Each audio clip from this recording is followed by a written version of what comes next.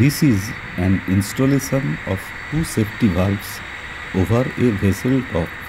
Each safety valve is having isolation valve at upstream of safety valve for isolation purpose. But these two isolation valves are interlocked with each other so that both the isolation valve cannot be closed at a time. Now let us see how we get this interlocking and what is its importance.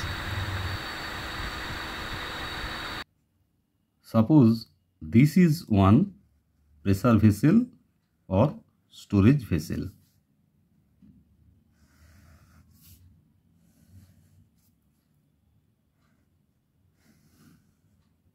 As per statutory norm, any storage vessel or pressure vessel having design pressure more than equals to 1 bar gauge should be provided with 2 into 100% safety valves from two separate nozzles like this.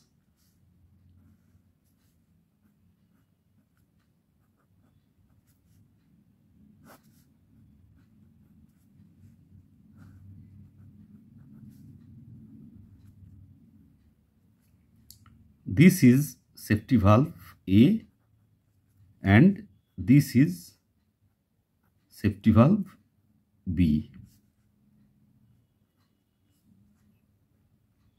These are two independent separate nozzles. This statutory norm is considering the safety of the vessel.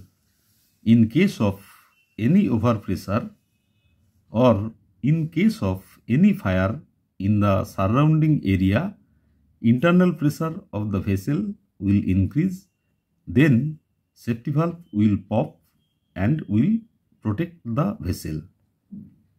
So these safety valves are 2 into 100% safety valve and both safety valve will remain in operating condition and both the safety valve is having 100% relieving capacity that means 100% block discharge type safety valve.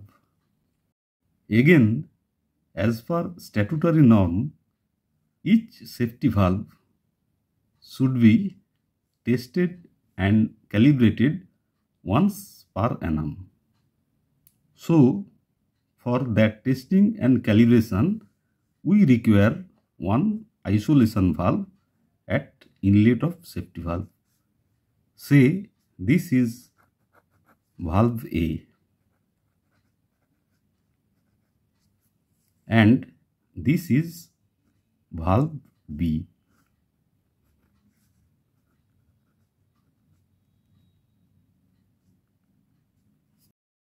Usually both this isolation valve will be kept in locked open condition and both the safety valve will be under operating condition. When we will take any of the safety valve for maintenance or calibration then only its upstream valve will be closed and other valve will be under operation for a short period. But usually both the isolation valve will be in locked open condition. In any case, both the isolation valve should not be closed simultaneously by mistake. Then it will be a safety hazard for the vessel. Thus, the philosophy of interlocking valve has come into picture. So, these two valves are having or should have interlocking between each other so that both the valve cannot be closed at a time.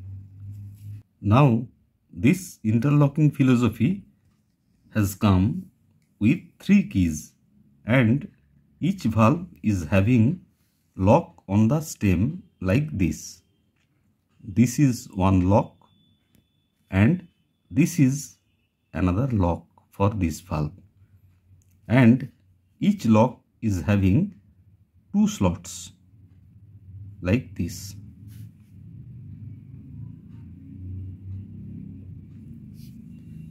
And for these two valves, there are three keys. Two red keys. This is one red key. This is say key A. This is another red key. This is key B.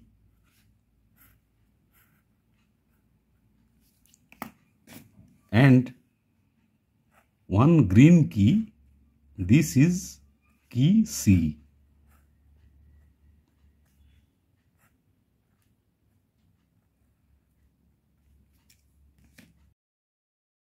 This is the picture of valve lock with key and you can see red key and green key.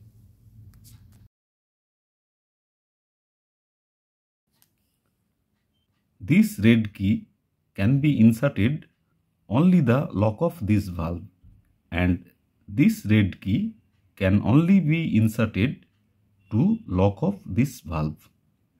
But this green key can be inserted to this lock and to this lock.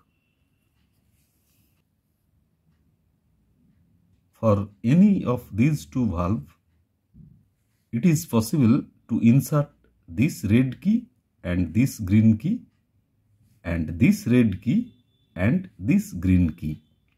But it is not possible to remove both the key from this valve and both the key from this valve. So this valve should have at least one key and this valve should have at least one key. Originally, this valve A is supplied with this red key inserted here like this. In this condition, the valve is locked open and this valve also is supplied with red key inserted in the lock. So this valve is also locked open. So originally both the valve is having red key inserted red key inserted and both the valve is in locked open condition. At that time this green key is kept in the control room key cabinet or this green key is kept over the lock of any key of this valve.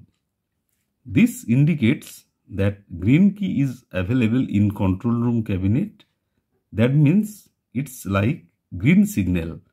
That means both the valve is in locked open condition. Now you can see that red key is inserted in the lock and green key is kept over the lock.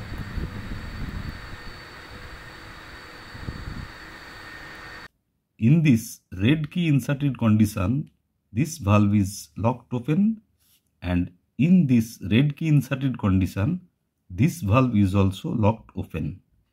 Under this condition, hand wheel of this valve cannot be operated and hand wheel of this valve also cannot be operated. In this condition, when this red key and this red key is inserted, and this green key is available with us. In this green key, it is indicated that valve A and B full open.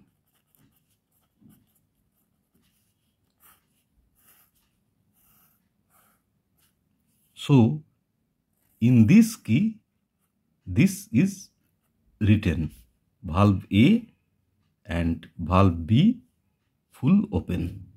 So when we see this key in the control room that means valve A and valve B is now in full locked open condition. Now suppose we want to take this PSVA for maintenance or for calibration. So we need to close this valve. To close this valve, we have to take this green key C from the control room and we have to insert this green key C in this slot like this.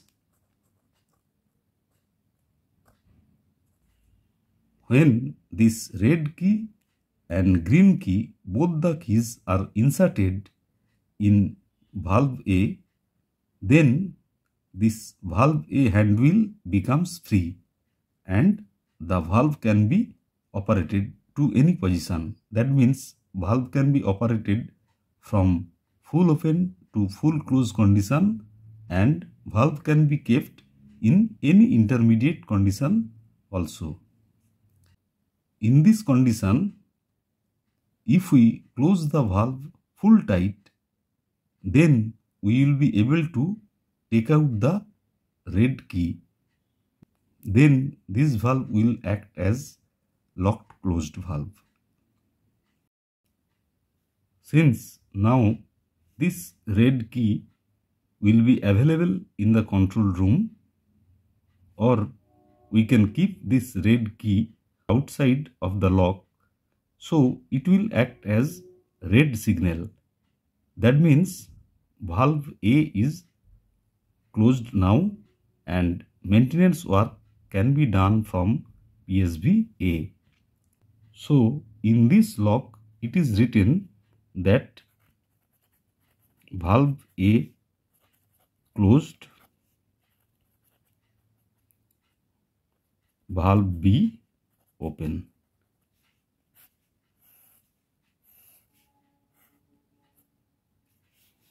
in lock A this is indicated valve A closed valve B open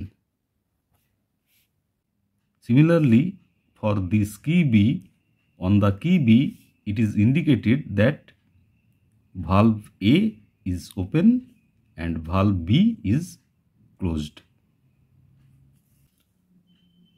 Now we have this red key available in control room and this valve is locked closed and we have done necessary maintenance for this safety valve.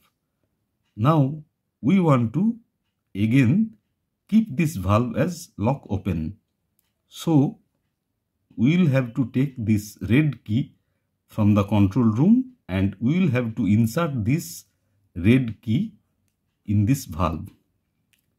After inserting this red key into the lock of this valve, then this valve lock will have both red key and green key and handwheel of this valve will become free.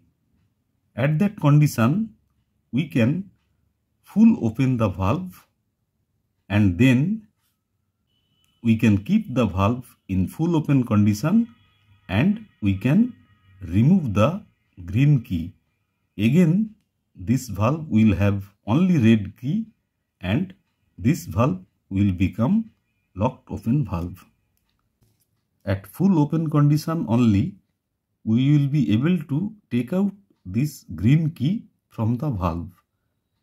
Then this valve will be again become locked open valve and again this green key will be kept outside the valve or will be kept in the control room which will indicate valve A and valve B both are full open. In same philosophy, maintenance of PSV B can be done. In this way, we get safe interlocking between two isolation valve at two safety valve inlet so that both the isolation valve cannot be closed at a time. Now let us see an installation of interlocking valves.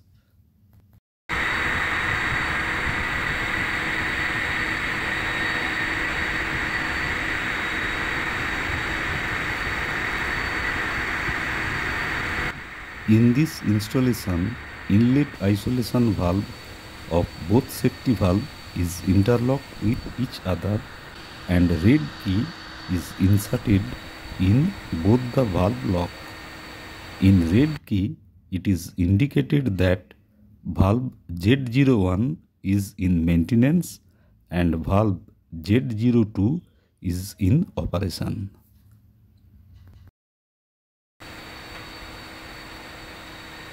In this condition, green key is kept outside the valve lock and green key indicates valve Z01 and valve Z0 both in operation.